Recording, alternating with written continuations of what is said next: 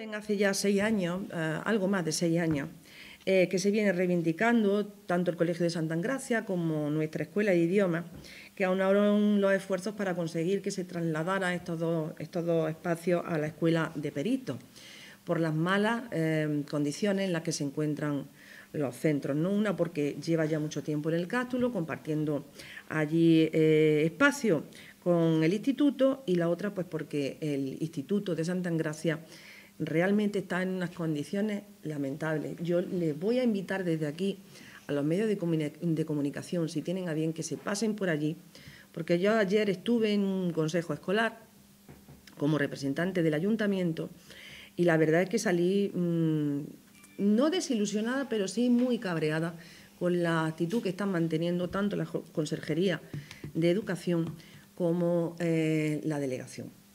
Hay una, un aula que permanece cerrada, ya que desde el mes de diciembre, el día que llovió tanto, no recuerdo si fue el día 22, creo, eh, estas lluvias torrenciales que, mm, de bueno, pues el agua bajaba eh, todo lo que era la pared hacia abajo.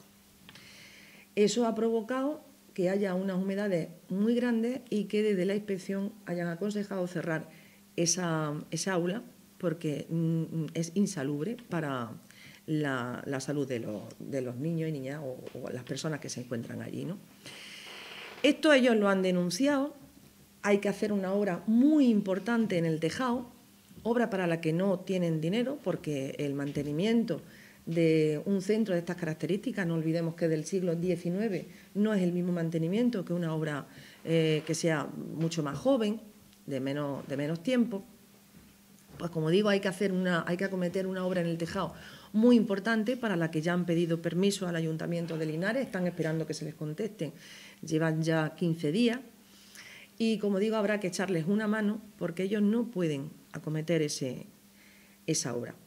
Pero lo que más preocupa es que hay otra habitación, la de informática, en la que se está yendo permanentemente la luz debido a la humedad, que también va a haber que cerrar. Y entonces cuando esto suceda, ¿qué hacemos con los alumnos y las alumnas del Santa Engracia? Si se siguen cerrando aulas porque no están en condiciones, ¿qué hacemos con los alumnos y las alumnas? Cerramos el centro, los reubicamos en más espacios, los ponemos en mitad de la puerta de las clases, ¿qué hacemos? Si ya todo estaba listo y preparado para hacer el traslado a peritos, según decían ya, no había ningún problema. Han sido seis años de promesa, de incumplimiento, de más promesas, de más incumplimiento. Ahora llega el nuevo gobierno. En principio dicen que, bueno, hay prioridades, que hay otros institutos en la provincia que están peor que este. Yo no sé si hay institutos en la provincia que estén peor que este, pero a mí me extraña muchísimo que eso sea así. ¿eh?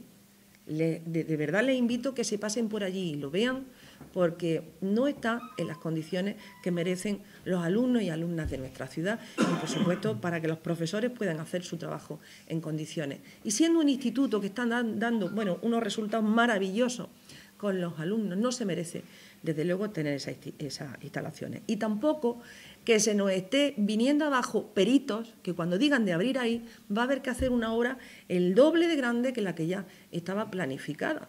Es que esto me está recordando muchísimo a Santana, un sitio que se cierra y que ya no se le hace nada, excepto pues los trabajos de mantenimiento, como decía Juan, pues el millón y pico ese que viene pues va a ser para, para mantener lo que ya hay, pero no para arreglar y mejorar para que vengan más empresas. Pues lo mismo está pasando con Perito, ¿eh? El Perito se nos viene abajo, es que se nos viene abajo, ya no estaba en condiciones y había que arreglarlo, darle una serie de arreglos, una serie de modificaciones en la estructura, que ahora pues va a haber que hacérsela, eh, va a ser más costoso, pero principalmente porque no estamos velando por esos alumnos y esas alumnas, porque vuelven a incumplir la promesa. Creo que en el mes de diciembre se reunió el señor alcalde Caro con, con Sutil, el delegado de Educación, y estaban de acuerdo con que tenía que ser algo urgente.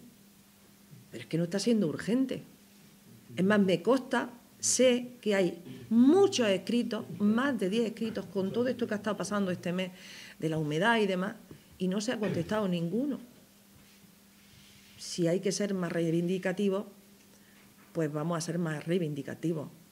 y, yo desde luego como, mm, como, miembro del Consejo Escolar no voy a estarme quieta y vamos a, pelear el traslado y, pelear ese, esa renovación al tejado, lo que haya que hacer, porque no se sabe, todavía no se han subido, no, no aconsejan subirse hasta que no tengan los informes necesarios, o sea, mm, vamos a estar ahí intentando que, que el traslado sea ya una realidad y por fin cumplan de una vez con todo lo que prometieron.